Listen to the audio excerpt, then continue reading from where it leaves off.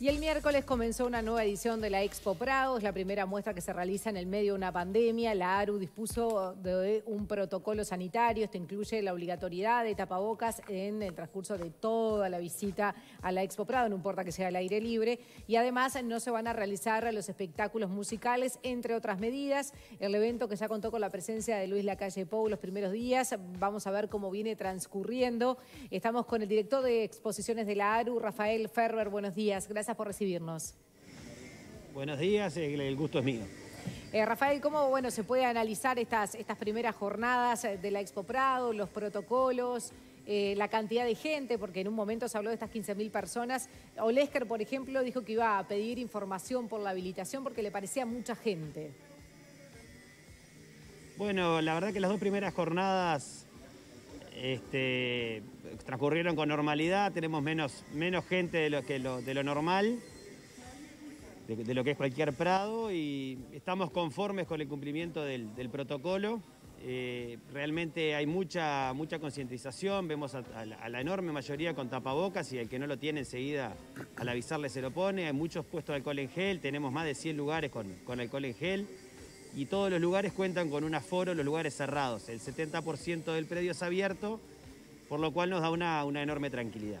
Bien, y te consultaba, entonces decís, está yendo menos gente, también quizás por precaución la gente, pero también eh, cómo se está moviendo, cuánto eh, si algunos no están, por ejemplo, este año, y también cuántos trabajadores dependen de esta Expo Prado. Porque decíamos, bueno, esta apertura de perillas que viene dando el gobierno, que Olesker, por ejemplo, cuestionaba a estos 15.000 eh, espectadores. Eh, ¿Cuánto implica en la economía? ¿Qué tan importante es esta Expo Prado? Bueno, el Prado moviliza más de 10.000 personas para, realizarse, ¿verdad? Entre la gente que lo que está en el armado inicial, que después está trabajando durante la exposición, la gente que viene trabajando todo el año en distintos lugares, más, más el personal permanente de, la asociación rural, superamos las 10.000 personas cómodamente. En cuanto al aforo, acá lo que se hizo es un, eh, para ser claros, es un puzzle de, distintos aforos. Nosotros tomamos el de los shoppings, por ejemplo, para, para los metros cuadrados por persona, siendo, teniendo mucho mejores condiciones, ¿no? Porque estamos hablando de de que acá es una persona cada 5 metros cuadrados, igual que cualquier shopping, con, un área abierta, obviamente, este, enorme. Eh, la cantidad de gente es la que se definió con salud pública en un protocolo que llevó más de tres meses. Estamos hablando que el 15 de junio empezamos, empezamos el tema, fue y vino muchas veces, muchas cosas no, este, se le buscó la vuelta de, distintas maneras y, yo creo que llegamos a algo cumplible, este, que nos da a todos tranquilidad y que nos permite venir a la exposición, ¿verdad? Con, con alguna clave que es, que es imprescindible que la gente tenga, la tenga clara, que es, por ejemplo, comprar la entrada con anticipación en Hábitat, por la web o en los locales, pero es, muy probable que este fin de semana, con el clima que están dando, que va a estar como está hoy, este, tengamos que poner el cartel de entradas agotadas, por lo cual el que compre la entrada con anticipación va a poder, va a poder ingresar sin problema, ¿no? Claro, recién veíamos, este, Ferber, eh, imágenes de los, eh, los, los, protectores de los animales, los defensores de los animales que estuvieron en el ruedo el miércoles pasado. Eh, ¿Cómo evalúan ustedes esta situación? ¿Ya han llegado a tener algún tipo de diálogo con ellos o si les preocupa que esto se vuelva, se vuelva a repetir? No, no nos preocupa que se vuelva a repetir mientras este, no hayan inconvenientes. Este, realmente lo que sí nos preocupa es que haya algún exceso de alguna parte que nosotros no podamos controlar. Este, lamentablemente no hacen contacto como para, poder tener un diálogo con ellos. Nos encantaría que, vengan y nos cuenten qué, es lo que ven, qué es lo que le, digamos, acá se le abre las puertas a todo el mundo, pero con respeto, ¿no? En la situación que ellos pretenden hacerlo, realmente no, no hay otra manera de manejarlo que es como se hace. Este, y bueno, no le queremos dar trascendencia porque creemos que no, que no toman los carriles correctos, ¿no? Eh, pero disponen de algún tipo de, protocolo especial o de procedimiento de actuación en relación a, que son manifestaciones que se dan en realidad todos los años, con, características distintas, pero se sabe que arranca el Prado y va a existir una manifestación de este tipo. Sí, este, por ejemplo, el año pasado, este, que fue el primer año que vinieron, eh, hubo cierto movimiento en las redes. Nosotros pedimos apoyo en inteligencia para, para saber, sobre todo, de qué tamaño puede llegar a ser, ¿no? Suelen ser pacíficas. Eh, este año ¿no? hicieron. Sí, no es problema, realmente son unos gritos. es una, es una cuestión de educación, este, pero en, el fondo después no pasa nada.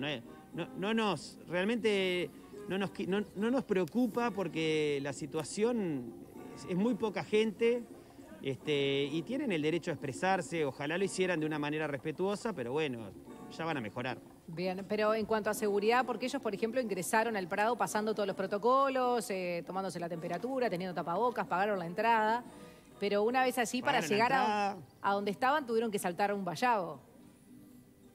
Y ahí es donde está la parte del respeto, pero, pero el resto lo hicieron todo correctamente y sin problema, así que no, no este, la parte del respeto son los gritos, interrumpir, en este caso al intendente Montevideo que estaba este, hablando, este, y nada más, después no, no, da para más.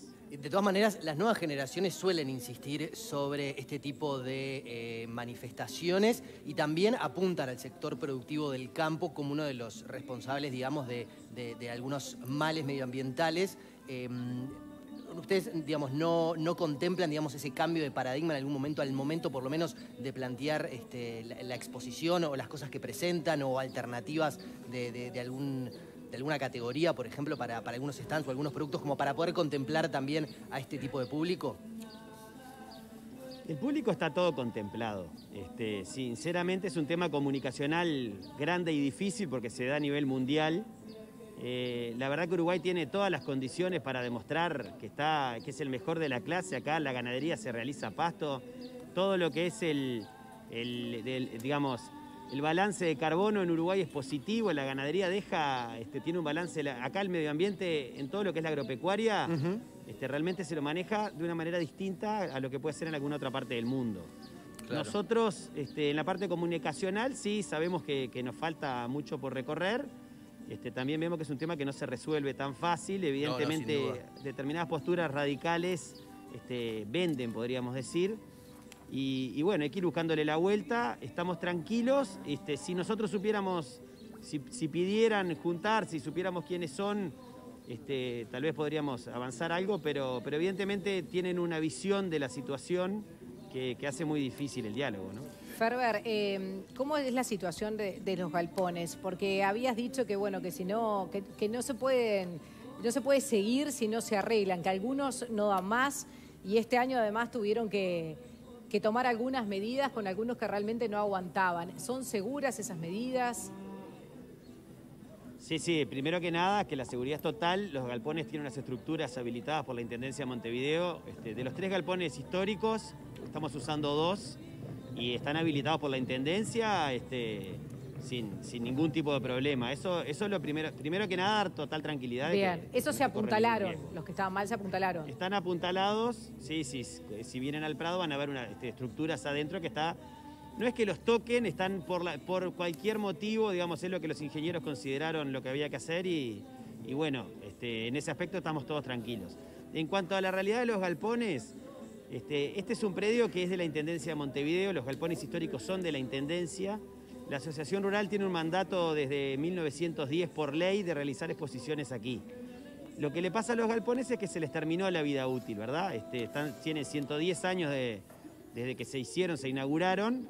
Este, ya está asumido por la Intendencia que, bueno, la madera se le terminó su, periodo de, utilidad. Hay que repararlos para hacerlos de una manera este, como estaban, para contemplar a patrimonio histórico realmente tienen un costo grande y lo debe encarar la ciudad de Montevideo, lo debe encarar la Intendencia. Este, la rural busca todas las maneras, está, estamos con el mejor diálogo con, la Intendencia, con esta administración, para buscar formatos para continuar hacia adelante que le sirva a todas las partes. La realidad es que desde el año pasado, nosotros hasta febrero, se venía trabajando con expectativas de tener ya un techo arreglado, tener este, una situación controlada y se notara en esta exposición. Bueno, la pandemia complicó todo, este, atrasó las elecciones. Eh, lo que todos ya sabemos este, hizo que, bueno, eso quedara en segundo plano para poder superar esta exposición y este año que realmente a todo el mundo le está, está costando. Y, este, apenas sepamos quién es la nueva, quiénes son los, nuevos administradores de Montevideo, este, continuaremos la, continuaremos el camino de, recuperar esos galpones. Bien, eh, ¿la pandemia influyó en la cantidad de expositores de este año? Sí, influyó, pero realmente muy poco. Este, la parte ganadera tiene una merma muy pequeña, está la exposición completa. Y la parte comercial de empresas, este, realmente está todo completo. La exposición está, está muy bien. Hay una fuerza agropecuaria que se nota, se nota en, buena medida en todo lo que es la vuelta del ruedo. Y realmente poder armar estas posiciones es muy reconfortante por el empuje que, que le pusieron, por un lado, los, la parte ganadera, la parte empresarial, la parte comercial, el paseo de compras de artesanos, está todo presente.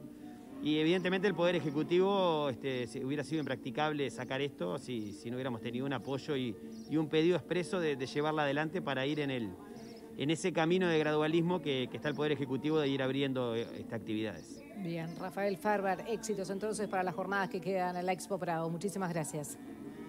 Gracias a ustedes y los esperamos a todos. A las órdenes. Bien, y nos vamos para Salto, hablando de la selección.